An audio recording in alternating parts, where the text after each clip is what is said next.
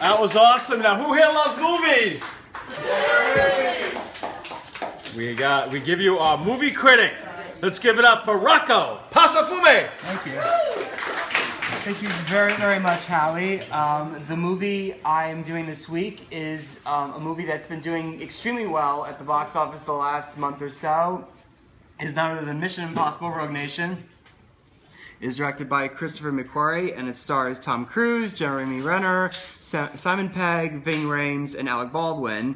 With the Impossible Missions Force now disbanded and Ethan Hunt now on his own, he must round up his team of agents to combat a terrorist group with um, world domination ambitions known as the Syndicate, while allying with um, a rogue agent from uh, England who may or may not be in league with this, um, this syndicate. The thing about Mission Impossible is that he's managed to turn what was originally a very pop, um, well-known television show into an entity unto itself, which very few of these TV film adaptations manage to do. And a lot of it is due to Tom Cruise. Tom Cruise, you know, for everything that's gone on with his um, career in the last couple of years because of his associations with Scientology, he has really managed to still you know, he really still manages to deliver as an actor and manages to make really exciting, thrilling movies that are not insulting to one's intelligence.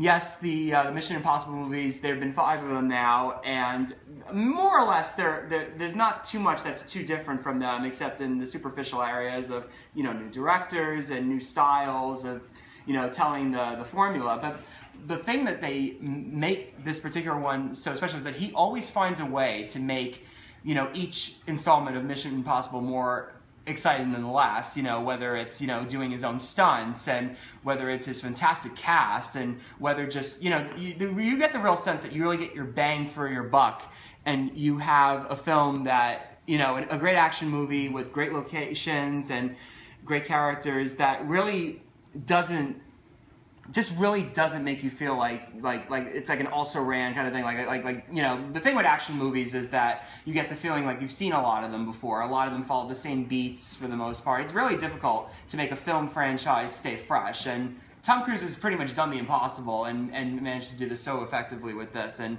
you know, the proof is in the pudding. The movie's still, you know, the second mo- is still doing fantastically. It's, um, I think it's now like the, still the third most popular movie out right now, and it's been out for over a month, and it's huge worldwide. And, you know, every you know time one of these movies come out, you're thinking like, ah, Mission Impossible. You know, like how many more of these can they make? And he's really shown that this you know, still manages to be as competently directed and wonderfully acted and um, just the best kind of summer movie thrills that you, you could possibly get. And, and, and that's, that's, that's very hard to do. And I definitely give uh, Mr. Cruise a lot of credit for that. And uh, I give Mission Impossible Rogue Nation three out of five stars. So thank you very much. Rocco, thank you very much.